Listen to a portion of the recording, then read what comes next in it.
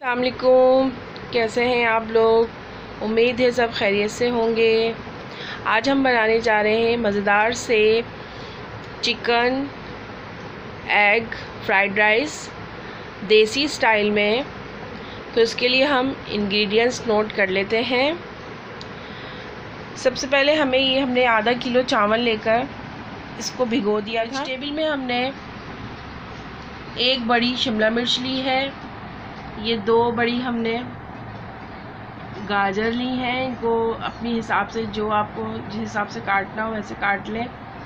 ये हमने एक बड़ा कप कॉर्न के कॉर्न लिए हैं। ये हमने ऑलिव लिए हैं, टिन पैक, और ये हमारी हरा प्याज है। तकरीबन ये पूरा दो बंच हैं हमारे। ये हमने मटर लिए हैं। यह आधा कप के करीब मटर है। ये हमने तीन चिकन की बोटियाँ लेकर इनको बॉईल करके रेशा कर लिया था। ये हमने चिकन क्यूब्स हैं, लेकिन हम एक अदर डालेंगे चिकन क्यूब्स ये हमारे मसाले हैं। इसमें हमने वन टेबल स्पून के करीब काली मिर्चें ली हैं। हाफ़ टेबल स्पून के करीब लाल मिर्चें कुटी हुई ली हैं। और वन टेबल स्पून हमने नमक लिया है। हमने चिकन क्यूब्स भी लिया है और नमक भी लिया है। तो नमक हमारा चावल के बॉयलिंग में जाएगा। जब चावल बॉयल हो रहे होंगे और क्यूब्स जो है हमारे वेजिटेबल में जाएगा। और सॉस में हमने ये, हमने जेलोपिनो सॉस लिया है। ये थोड़ा खट्टा होता है, मज़े का लगता है। और ये सोया सॉस लिया है हमने।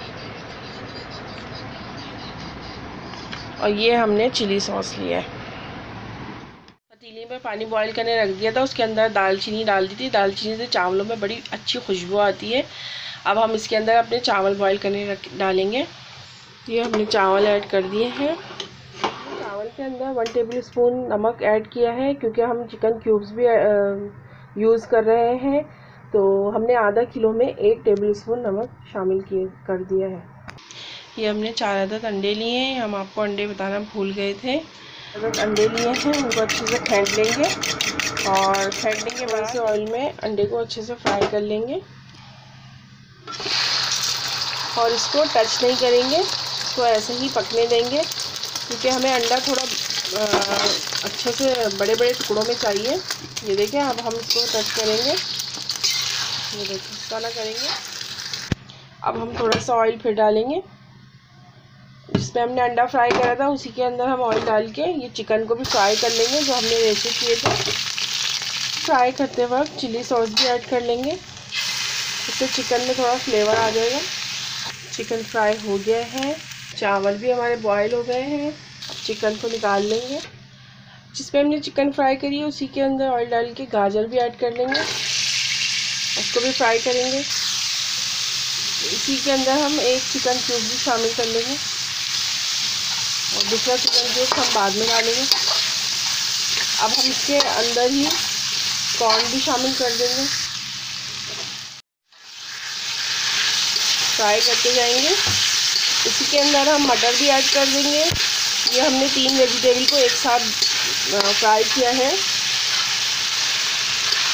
तो देखिए, हमने मटर भी ऐड कर दिए हैं। आप इसको अच्छे से फ्राई करके तकरीबन 10 मिनट फ्राई करने के बाद हम इसको निकाल लेंगे शिमला मिर्च ऐड कर देंगे। ये हमने एक एक करके चीज़ें फ्राई कर ली हैं। अब हम इसी के अंदर अपने ऑलिव और हरा प्याज भी ऐड कर देंगे उसको तकरीबन तीन मिनट फ्राई करेंगे। एक जो चिकन क्यूब्स हमारा रह गया है, वो हम चावल के अंदर ऐड करेंगे मसालों के साथ।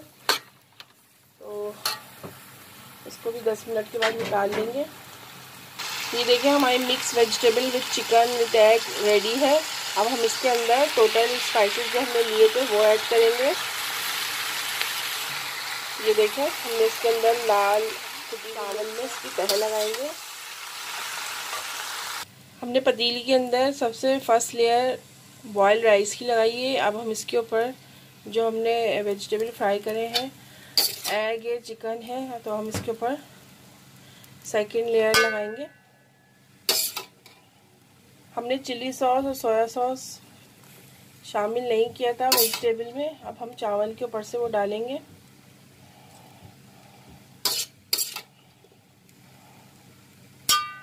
इसी तरह हम लेयर लगाते जाएँगे। ये हमारी फोर्थ लेयर है। अब हम इसके ऊपर दोबारा से वेजिटेबल डालेंगे। इस तरह हमारी लेयर पे लेयर तकरीबन डेढ़ टेबल स्पून के करीब हम सोया सॉस में ऐड कर देंगे। ये हम डालेंगे चिल्ली सॉस। ये हम दो टेबल स्पून भर के डालेंगे। और डेढ़ टेबल स्पून के करीब हम डालेंगे जलकुनो सॉस इससे भी बहुत मज़े का फ्लेवर आता है। ज़रूर ट्राई करिएगा। ये देसी स्टाइल के फ्राइड राइस लेयर लगाने के बाद हम इसके अंदर थ्री से फोर टेबल स्पून के करीब पानी डालेंगे ताकि इसमें अच्छे से कुक हो जाए। चावल हमने दम पे रख दिए हैं। लहसुन फ्राई कर रहे हैं, क्योंकि जब ये चावल दम पे आ जाएँगे तो ये हम फ्राई लहसुन इसके ऊपर डालेंगे। ये देखें, मज़ेदार से हमारे चिकन एग फ्राइड राइस बन के रेडी हैं। घर में ज़रूर ट्राई करें, बहुत मज़े के बनते हैं। और ये जो हमने लहसुन फ्राई करा था, ये आपको नज़र आ रहा होगा, ये हमने इसके ऊपर डाला है। और जब ये मुँह में आएगा तो ये बहुत ही मज़े का लगेगा। घर में ज़रूर ट्राई करें। और दुआ में याद रखें, मेरे चैनल को सब्सक्राइब करना ना भूलें। अल्लाह हाफिज़।